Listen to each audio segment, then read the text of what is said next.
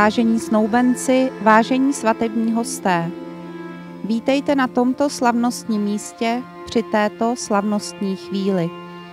Vážení snoubenci, vaším odávajícím je pan Michal Pokorný, zastupitel obce Líbeznice a mé jméno je Lucie Verešová a jsem matrikářkou obecního úřadu Líbeznice. Vážený pane odávající, dovolte mi, abych vám představila zde přítomné snoubence, kteří obecní úřad Líbeznice požádali o provedení sňatečného obřadu a předstupují před vás, aby společným souhlasným projevem vůle podle občanského zákonníku uzavřeli manželství.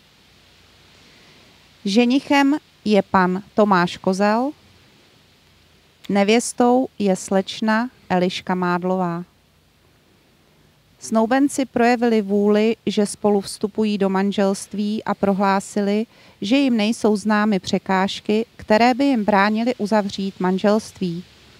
Navzájem znají svůj zdravotní stav a zvážili uspořádání budoucích majetkových poměrů, svého bydlení a hmotné zajištění po uzavření manželství. Snoubenci se dohodli, že jejich společným příjmením bude příjmení ženicha, kozel Kozlová, a toto příjmení bude i příjmením jejich společných dětí. Současně vám, pane odávající, představuji přítomné svědky tohoto slavnostního obřadu, kterými jsou pan Petr Kozel a slečna Jana Mádlová. Snoubenci splňují všechny podmínky, které vyžaduje právní řád České republiky pro vznik manželství a proto vás prosím, abyste přijal jménem orgánu státní zprávy jejich souhlasné prohlášení. Děkuji.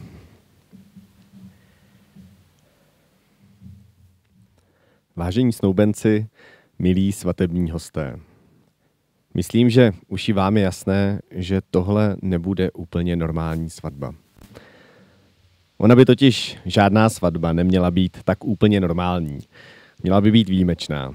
Ono to není jen tak říct, že s někým chcete žít na pořád. Opravdová láska to je věrnost, úcta a nesobeckost. Není to pro žádného z nás snadné, ale jsme-li upřímní, přiznáme si, že je to právě to, co potřebujeme a po čem všichni v hloubi srdce toužíme. Eliška a Tomáš jsou spolu deset let. To je opravdu dostatečně dlouhá doba na prověření pevnosti a kvality vztahu, kterému nemalou měrou pomohlo pár nevinných výletů za kulturou. Nepochybně jste už spolu zažili jak mnoho šťastných okamžiků, tak i řadu těžkostí a bolestí. Láskyplný vztah má ale zvláštní dar tomu těžkému trochu otupovat hrany a to krásné naopak umocňovat.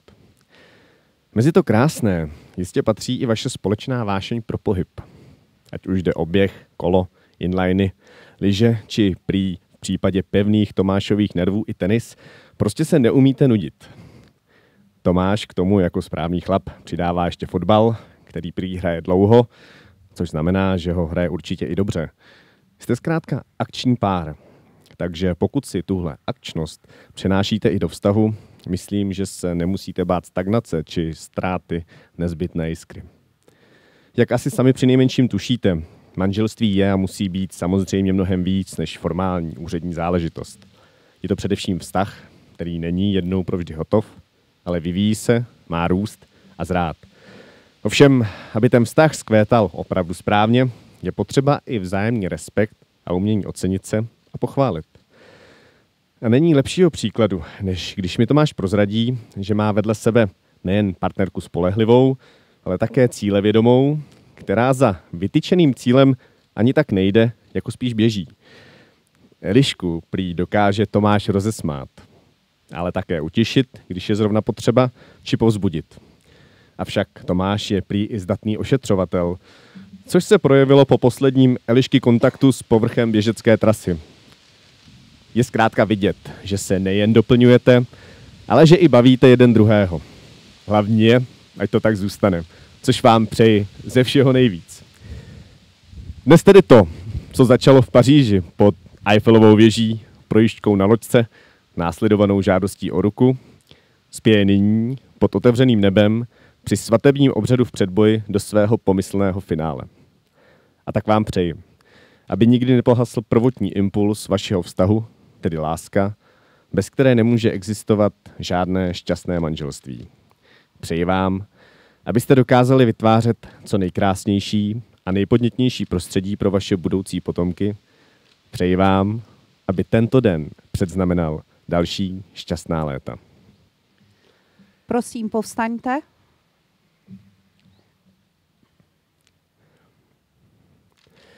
A nyní vás žádám, pane ženichu, o vaše vyjádření, zda vstupujete dobrovolně do manželství se zde přítomnou slečnou Eliškou Mádlovou. Děkuji. Nyní žádám vás, slečno nevěsto, o vaše vyjádření, zda i vy vstupujete dobrovolně do manželství se zde přítomným panem Tomášem Kozlem. Ano. Děkuji. Protože jste splnili všechny podmínky, které vyžaduje český právní řád pro vznik manželství, prohlašuji vaše manželství za právoplatně uzavřené. Na důkaz toho vás prosím, abyste si vyměnili své snubní prsteny a dali první manželské políbení.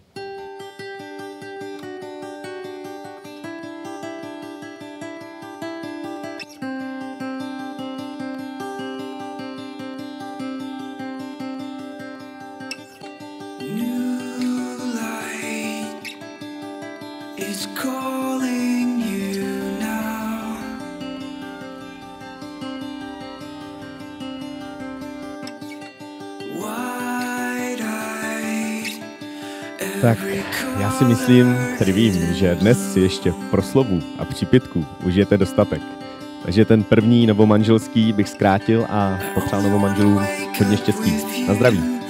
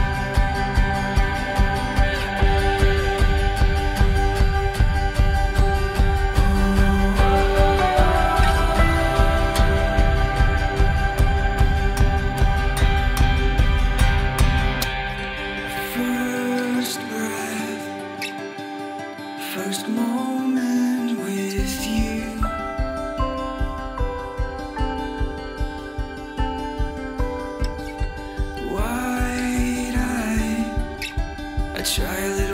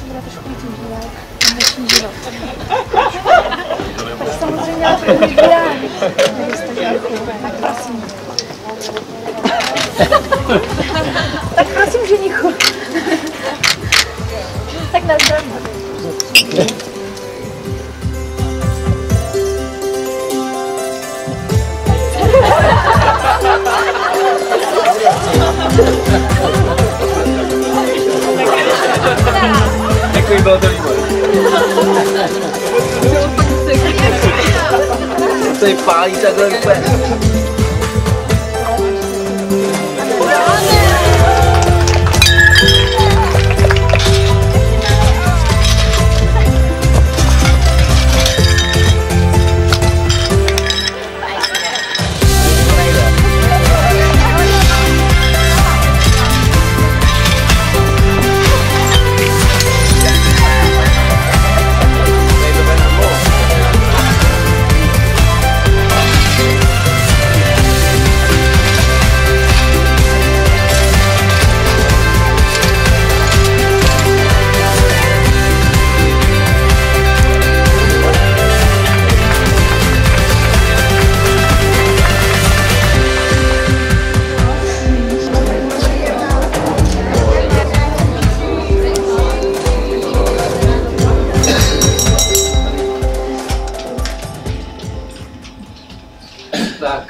vážení rodiče, rodinní příbuzní, přátelé, ještě jednou bych vás chtěl všechny znovu přivítat a poděkovat, že jste dnes dorazili a pevně douf- doufám v to, že si dnešní den všichni společně užijeme a budeme sdílet dnešní den.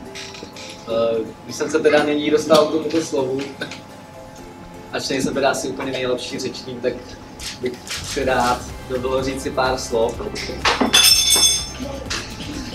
To nejprve k našim rodičům a teď budu mluvit jak za mě, tak i za moji manželku Elišku. Eh, Našim rodičům bychom chtěli poděkovat za to, jak nás od našeho dětství vedli, vychovávali a jaké nám dávali rodinné hodnoty, které byly pro nás velmi důležité. Hodnoty, které mám nyní na mysli, jsou, že rodina, že rodina má být vždy na prvním místě a že jsou i velmi důležité rodinné vztahy. Vždy si všechno říci na rovinu a pokud máš nějaký problém, tak za mnou přijď a nějak to vyřešíme. Od vlastně našeho dětství jsme byli vedeni k tomu, že nám vždy rodiče předávali naše, nebo naše, nám jejich životní zkušenosti. A jsme si vědomi toho, že často s náma nebylo asi jednoduché. A jak se říká, někdy jsme byli možná na pěst, když to řeknu. Takže jsme si vědomi toho, že jste s náma měli pevné nervy. A věřím v to, že se to možná bude zlepšovat, ale nějaký ten šedivý vlásek nám ještě určitě přiděláme. A jsme si i vědomi toho, že jste tu vždy pro nás byli, momentálně i jste, a víme, že i budete. A za to vám moc krát děkujeme. Teď bych chtěl nyní říct uh, konkrétně třem osobám a poděkovat jim. Včera jsme, ještě když to uvedu na trošku pravou míru, včera jsme s mojí mamkou prohodili, že se vsadíme, kdo začne brečet. Tak mamka už asi brečela na obřadě. Já jsem zatím vydržel, takže 1-0 vedu. Ale možná teď to nedá, takže to možná remíza. Eh, První, komu bych chtěl poděkovat, je můj bratr Petr. Protože vím, že on tu vždy pro mě je. A chtěl bych poděkovat za to, že eh, jako uspořádal moji rozlučku se svobodou. Protože ti, kteří tam byli, tak vědí, že to byla jízda až do rána A vydrželi opravdu jen ti nejzdatnější. A jsem si moc dobře vědom toho, že si na něj můžu kdykoliv vzpomenout a kdykoliv se na něj obrátit. Takže tímto ti děkuji. Uh, druhá osoba, které bych chtěl poděkovat, je sestra Elišky, Jana. Jana, tobě děkuji, že jsi byla po boku po celých našich příprav. Že Eliška, když se na, koli, když, když se na, na tebe kdykoliv obrátila, tak že si jí vždy pomohla a oba myslím si, že víme, nebo kteří Elišku známe více, tak Eliška má velké nároky, jak se všechno perfektní a občas to se nevíde a nesplní se to. Takže věřím tomu, že jsi měla opravdu obrovské nervy a za to ti moc krát děkuji. Také bych jí chtěl Janě poděkovat za to, jaké eh, šila krásné šaty pro ještě krásnější naše družičky, protože opravdu jim to sluší a to ti taky moc rád. Že kdokoliv, kdykoliv budete asi něco potřebovat, jestli třeba budete na Janu.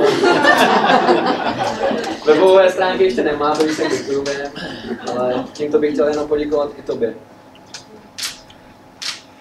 Třetí osoba, které bych chtěl poděkovat, je ode dneška moje manželka Eliška. Protože uh, nechci se bavit nějak o našem vztahu, že je opravdu krásný, ale chtěl bych ti poděkovat dnes za to, jak jsi tady dnes uspořádala. Protože všechno, co tady vidíte, od dekorace, od našeho kameramana, blázna fotografa, jo. strávila jsem x hodin výběrem, takže jste se dostali do takového topu, prošli jste výběrem. Já jsem si vědom toho, že si opravdu s tím strávila mraky hodin. A já byl opravdu u toho jenom chceš to, nechceš to. A já jsem většinou řekl, že jo, protože jsem neměl dost ten čas. Jediné, co já jsem měl vlastně zařídit, bylo svatební prsteny, koupit si nový oblek. A teď, když si to nějak tak vybavu, tak vlastně u toho se byla taky, takže já jediné, co jsem měl, bylo vyloženě, co jsem dneska dostavil, 13.00 na startovní čáře, takže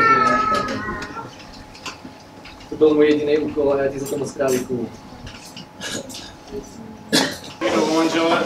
Tomáši, vážení svatební hosté, dostalo se mi té výsady, abych jménem rodičů nou manželů vás přivítal, poděkovala za to, že jste přijali pozvání na dnešní pro Elišku a Tomáše slavnostní událost. Svatba bez pochyby je.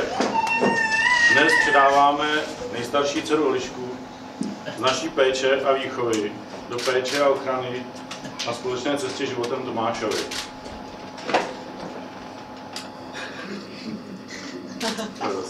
Snad se nám její výchova povedla a z Elišky vyrostla pracovitá optimistka, někdy až s nezdravou precizností a přísností, s realistickým přístupem k životu a dostatkem empatie.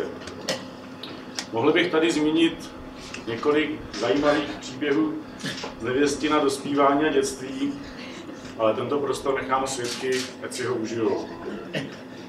Od chvíle, když jsme se dozvěděli, že s Tomášem spolu začali chodit, měli jsme možnost ho poznávat a sledovat, jak z mladého chlapce Tomíka vyrostá chlap Tomáš. Během těch deseti let nám spadl kámen ze srdce, protože jsme zjistili, že Tomáš je nejen výborný fotbalista, o čemž po dnešku trošku pochybuju. A i dobrý střelec, čehož mám radost. Ale především je to čestný, spolehlivý, skromný a pracovitý muž, kterého máme rádi a už dávno jsme ho přijali do naší rodiny.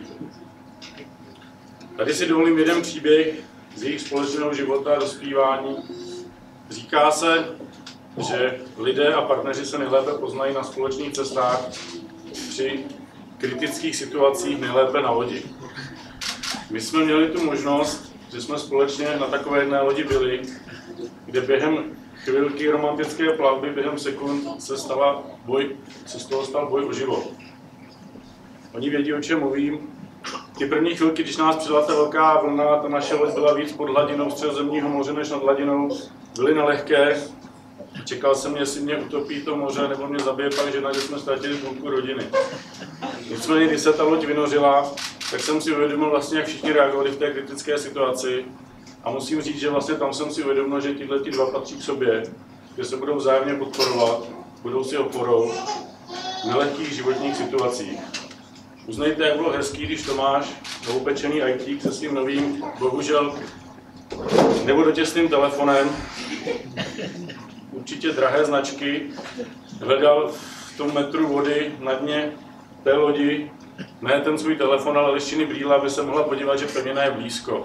Zaplať pámu je hledal dlouho a pak už ta pevnina se ukázala pak jsme ještě strávili noc na opuštěném ostrově a, a bylo to od nich moc hezký. Vážení novomanželé Liško a Tomáši, dnes jste udělali vážné rozhodnutí ve svém životě. Říká se, že najít správného životního partnera je vyhrát životní bitvu. Také jeden básník řekl, že jestli existuje ráj na zemi, je to spokojené manželství. Na spokojené manželství neexistuje žádný recept. Je jenom na vás, jak si ho zařídíte. My vám přejeme, abyste tu životní bitvu dneska vyhráli a abyste těch dnů toho ráje si užili co nejvíce. Přeji vám hlavně hodně zdraví, zájemné úcty, spolehlivosti, respektu, odpouštění a lásky. Svůj vztah rozvíjejte, nenechte ho usknout, živte ho a kořeníte ho. Nezapomínejte, že ke každému lidskému stavu manželství zvlášť nepatří jen slova, které dneska používáte, láska, miluji, free a happy, ale taky slova. Děkuji, prosím, odpouštím,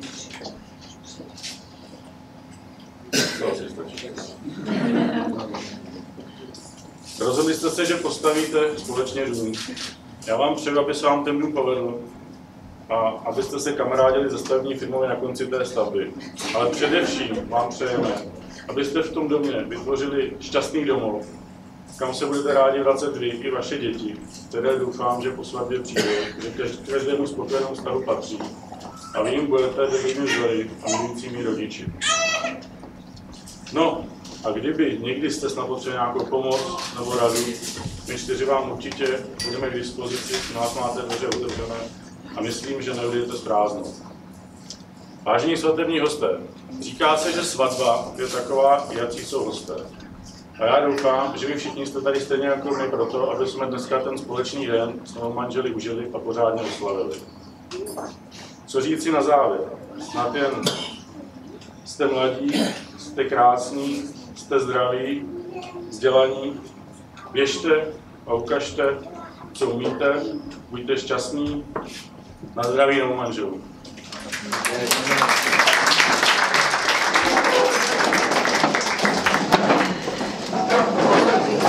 Odpoledne, dámy a pánové, chlapci a děvčata.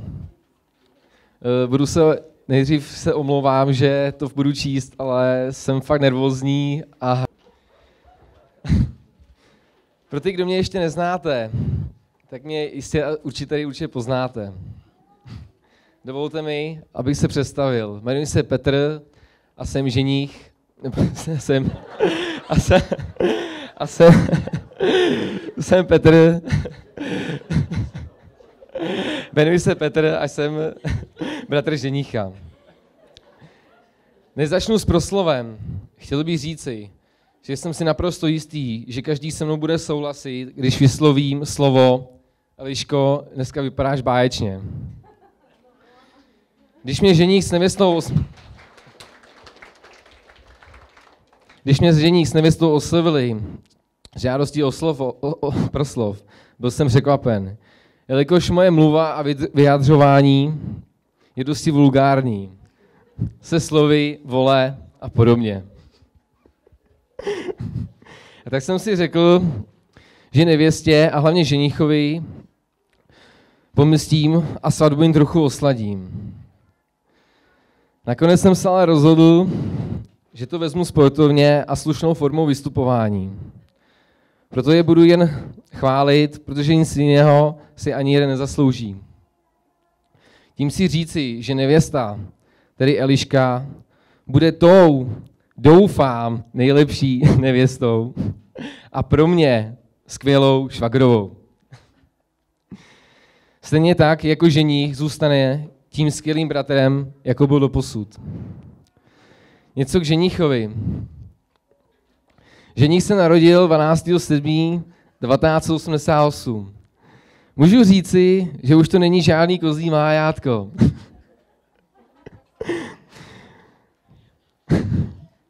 Byl vždy hodnější a rozumnější než já, ale když se doma něco stalo, tak říkal, to byl Péťa. Ale bohužel ve více případech jsem to byl opravdu já. Ale roky plynou a z nás se stali ještě lepší bráchové a kamarádi. Tom nebyl žádný záletník a čekal na pravou lásku. Na lásku, kterou našel opravdu v Elišce. Pamatuju si, jako když to bylo včera, a přišel a povídá, ty vole, včera jsem se seznámil se skvělou holkou. v tu chvíli jsem věděl, že bratr se opravdu zamiloval. A už je tomu opravdu deset let a jsou stále spolu. A za to nejsem jenom já, já, já rád, ale všichni. Eliško a Tome, mám vás opravdu moc rád. Ale už do zpovídání a proslovu. Na závěr bych chtěl říci, že kručení hříše už se nedá od vás poslouchat. Přejme jim všechno nejlepší do nového společného soužití. Hodně lásky, zdraví, štěstí, málo pláče a do roka pořádí dva kudrnáče. Tome, ale ještě měl bych říct ještě pro vás nějaký moudro. To moudro je nejspíš asi jenom pro Toma. Jsou to tři slova, které asi Tom bude teď nejvíc asi opakovat. A bude říkat, máš pravdu, lásko.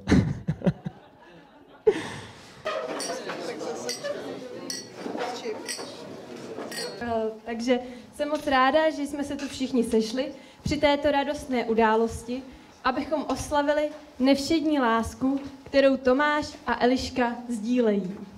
Je to láska, při níž se přijímá a také dostává a sdílí. A láska, kterou dávají a dostávají, je přijímána a také sdílena. A tím, že ji dávají a dostávají a také přijímají a sdílí, i my můžeme dostávat, dávat, přijímat, sdílet a milovat. Nechci tady však celou dobu mluvit o tom, jak Tomáš a Eliška svoji lásku dávají, dostávají a přijímají a sdílejí. Ale chtěla bych vám spíš popravdě popsat, jak jsme s holkama. Tamhle stůl číslo 10 vzadu, můžete na mě zamávat? Jak jsme s holkama prožívali, když se tihle dva dali dohromady. Asi není žádným tajemstvím, že to všechno začalo na diskotéce v Opolanech. Nebo je tady snad ještě někdo, kdo to nevěděl? Já. Doufali jsme, že nás potká stejný osud jako tyhle dva. Že tam najdeme svou pravou lásku. A tak jsme jezdili každý víkend do Opolan a hledali a hledali. Po čase nám ovšem došlo, že existují i jiná místa než Opolany a že fajnoví kluci se dají najít třeba v Praze, v Dimokurech, za hranicemi v Álenu nebo až na Moldavě. Pamatu, zpátky k věci tedy, jo? Pamatuji si, jak moje kamarádka Majda na střední vždycky vyprávěla. No počkejte, to vám ji musím ukázat. Majdo, můžeš na mě prosím tě zamávat? Tak, tohle je Majda, abyste všichni věděli, o koho jde. Majda na střední vždycky vyprávěla. Jo, zatleskejte. Zatleskáme Majdě. Majda vždycky na střední prohlašovala, že pokud by to nemělo fungovat Tomášovi a Elišce, tak už neví komu jinému. Zatím má pravdu, alespoň do svatby jim to vydrželo. Ale myslím, že pokud by se nám někdo měl stát vzorem, měl by to být už pár, který je v manželství nějakou dobu. První, kdo mě přirozeně napadl, jsou moji rodiče. Hezky nás vychovali, dlouhá léta nám poskytovali finanční podporu, domov, zázemí a teplé jídlo.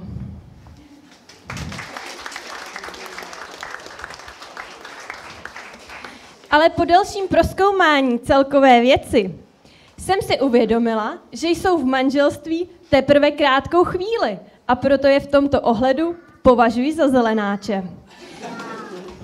Dále jsem se tedy rozhlížela a pro svůj vzor jsem si vybrala dědu a babičku z Lhoty, jež jsou spolu neuvěřitelných 58 let.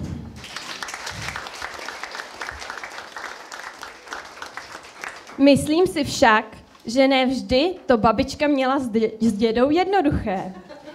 A děda to také s babičkou vždycky neměl jednoduché. Ale v průběhu let si mezi sebou našli porozumění. A je, je na nich vidět, že i po letech si jeden toho druhého nesmírně váží. A proto vám, Tomáši a Eliško, přeji, ať společně zestárnete a prožijete dlouhá léta jako děda s babičkou. Přeji to i mým rodičům, ať se jim daří v manželství a stanou se tak mladému páru novým vzorem. A přítomným bych chtěla připomenout, že každý je tu z určitého důvodu. Jste pro, manž- pro novomanželé všichni nějakým způsobem důležitý. A tak to prosím berte na vědomí, protože právě za vámi si Tomáš a Eliška budou chodit stěžovat. Jeden na druhého s největší pravděpodobností. Dávejte jim proto moudré rady. A co říct na závěr? Ještě bych vás chtěla poprosit, ať to dneska pořádně oslavíme, protože Naše sestra se dneska vdává.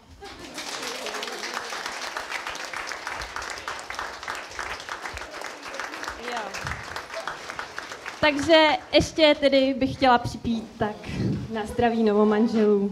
Naposled, už dnes již.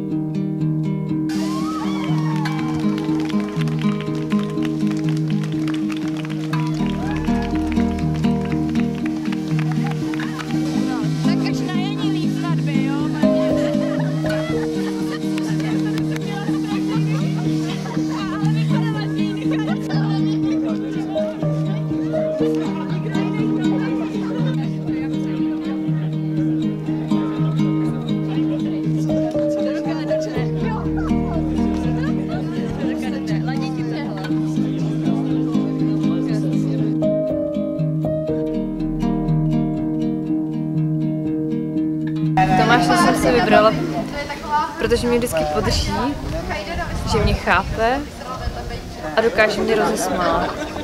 A stojí při mě, když to potřebuji. To je největší poklad na celém světě. Proč jsem si vybral Elišku? Hmm, určitě asi první takový ten První taková ta věc, která asi mě trošku v tom utvrdila, bylo to, že jsem byl trošku lenoch, nebo občas jsem.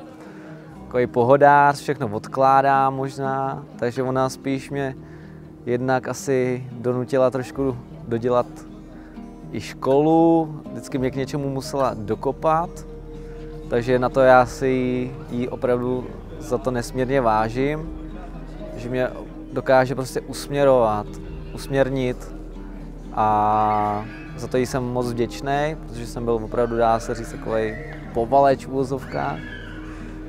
A určitě na ní mám rád to, že když si dá prostě tak cíl, tak že to zvládne a na to, to já si na ní strašně moc cením. Jakože dá se prostě nějaký bod a jde toho dosáhnout, ať to stojí, co to stojí. Vy teď prostě začala běhat před svatbou, aby jí to slušelo. Sice jí jsem dal pes teda, takže byla trošku sedřená, ale šla i přes krev. Pak určitě si vážím neskutečně toho, jak uh, dokáže věci dotáhnout do konce. Je prostě přátelská, uh, nemá problém se s kýmkoliv bavit. Mm, já mám prostě kamarádi občas takový blázny nebo to, uh, takže každým prostě najde nějakou tu společnou řeč, ať to stojí v úzovkách, co to stojí, určitě není nějaká stydlivá nebo něco takového. Prostě je to moje Eliška a takhle mě x bodů, bylo x bodů, který mi prostě řekli jo, se tady tu holku si vyber, tady ta by ti měla patřit, takže dělej pro to všechno, co můžeš, takže já jsem se kousnul, dokončil jsem školu, teda to bylo i díky samozřejmě rodičům, ale vždycky tam byl nějaký impuls od Elišky, že jsem prostě musel něco dodělat a trošku se trošku změnit. Takže za to já jsem moc vděčný, že mě vždycky v něčem posunula. A já doufám, že jsem posunul i teda v něčem, takže to je asi všechno, co bych rád řekl. A teď mi ještě co pro tebe je? Uh. Eliška pro mě je to moje mm, to nejlepší holka na světě, která mě dokáže určitě rozesmát, čehož já si moc cením. Uh, jsem se do ní zamiloval, asi už to bylo hned, když jsem ji viděl prostě na té diskotéce, když se tady všichni o tom baví, takže prostě bylo to takový to zbláznění, že jsme, po, já jsem ji viděl třikrát, po čtvrtý zastřízlivá, my jsme jeli pak hned spolu na hory, takže bylo takový to zblázní, takže ona je pro mě, dá se říct, všechno a vím, že spolu všechno zvládneme. Takže...